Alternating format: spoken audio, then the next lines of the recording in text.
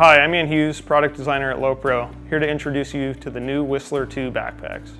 For this project, we focused on looking at all the great features this bag already had and improving on those features.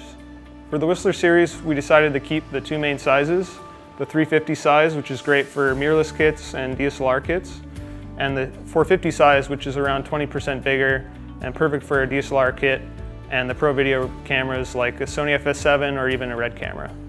For both the Whistler backpacks, the features are going to be very similar. So let's talk about the 450. Right off the bat, you'll notice when you pick up these new bags, they're around 15% lighter than the previous model. Uh, the next thing you'll notice is we went with a nylon 6.6 Robic material on the front, which has a very abrasion resistant yarn and the same TPU coating as the previous model that acts as a really good water barrier uh, when you're in the snow or in the mud. Uh, the next thing you'll notice is we, we simplified the front here.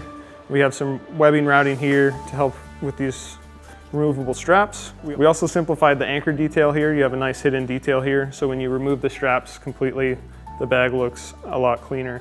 We still have your ice axe loops, trekking pole loops here that work with the removable straps here. On the sides, we move the buckle towards one side, so when you have your ski in here or your tripod in here, the buckle's not sitting on the center. Um, but same great, really sturdy ski attach there.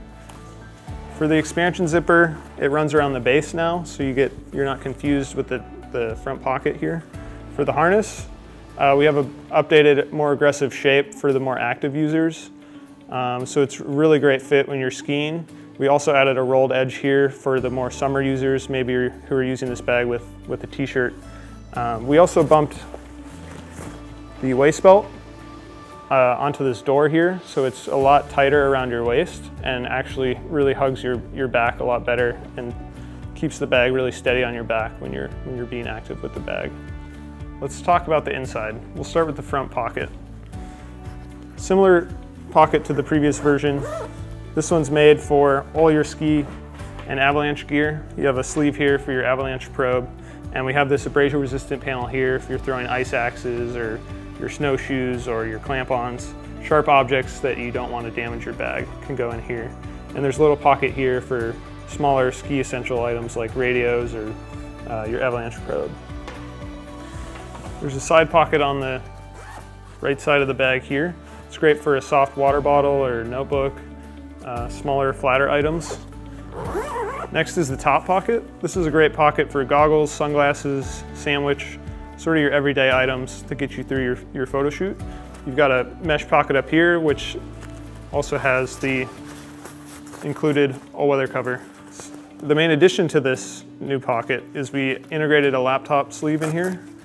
So you can put a 15-inch laptop in both sizes, uh, as well as making this floor removable. So if you wanted to do top camera access with a longer lens, you'd be able to remove this floor and have photo access through this lid. Let's talk about the main interior of the bag. On the door here, you'll notice we have two zippered pockets and two memory card pockets to keep your memory cards safe. The main inside of the bag, we talked to a lot of current Whistler users and from their feedback, we learned that we really needed to make the inside quite a bit bigger and make these dividers more customizable. So you can have it configured in this way or have these dividers rotated completely horizontal, have them run full vertical, uh, we also included these pocketed dividers and a new transmitter divider that lays in horizontally and is great for Mavic or uh, DJI Osmo or Flash, something you want to sort of layer up inside the bag. We put a lot of time and effort into improving key features of an already great bag. This is the Whistler 2.